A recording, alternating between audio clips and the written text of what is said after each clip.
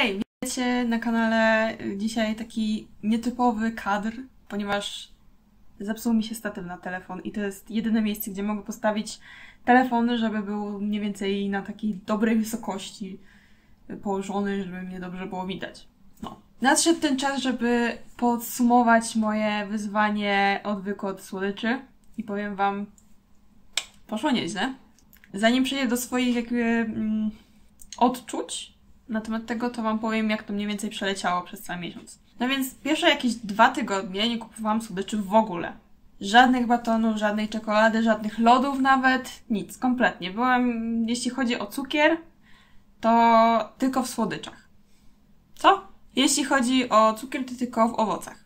Po tych dwóch tygodniach, około, poszłam z koleżankami na lody, jako że poszliśmy sobie świętować koniec sesji, więc stwierdziłam, że no nie będę się zmuszać do niejedzenia cukru w ogóle, bo to przyniesie odwrotny skutek i po zakończeniu takiego wyzwania bym się po prostu rzuciła na słodycze znowu.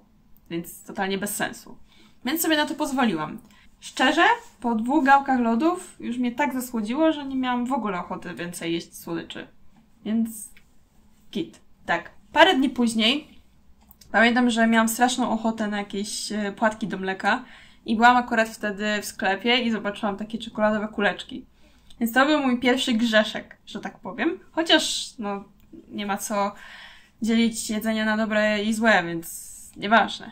No i, no, taką paczkę zjadłam w parę dni, co jest e, dobre, z czego się cieszę.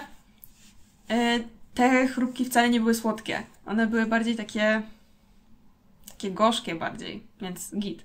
Potem pojechałam do domu. Niedługo potem pojechałam do domu. Dostałam od mojej babci dwa cukierki. Wsadziłam do kieszeni w kurce i o nich zapomniałam.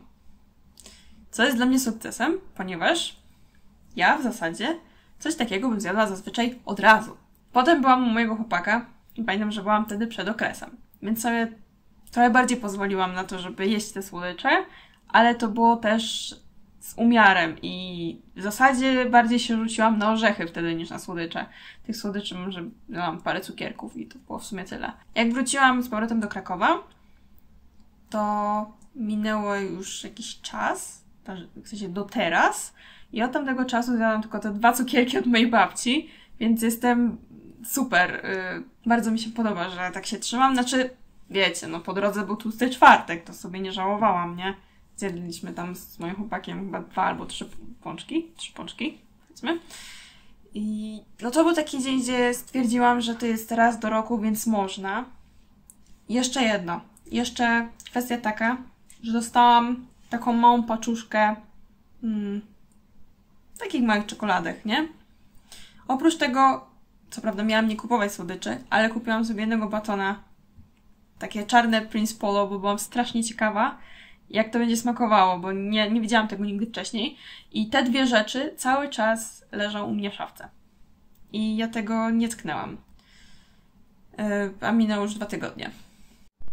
Że zapomniałam dodać, że teraz aktualnie w zasadzie nie jest tak, że nie jem tych słodyczy, bo się zmuszę, tylko przestałam mieć ochotę. Zwyczajnie nie istnieją dla mnie. Tylko te dwa cukierki za wcześnie mówiłam, no to jak już serio miałam ochotę coś słodkiego, ale to jest tak jeden cukierek i koniec. I mi się już nie chce.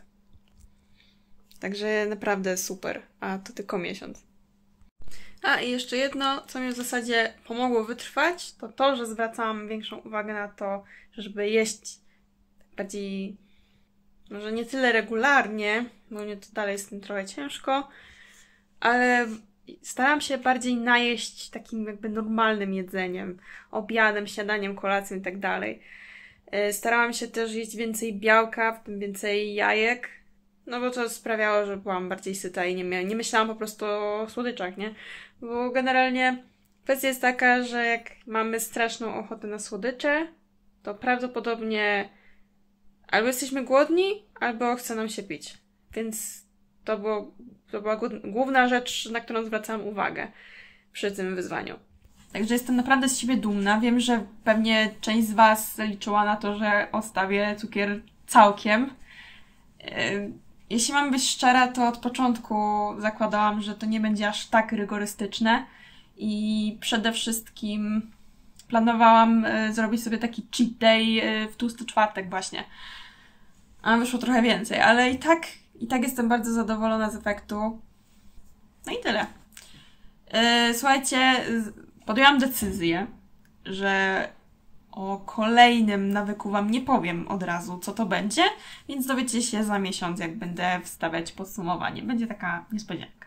Myślę, że to tyle, co chciałam w tym powiedzieć, w tym filmie. Widzimy się za tydzień. Zapraszam też na mm, Instagrama, tu gdzieś.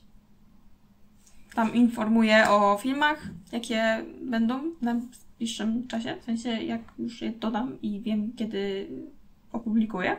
Jeśli film się podobał, to zostawcie łapkę w górę, mm, komentarz, subskrybujcie i widzimy się niedługo. Pa!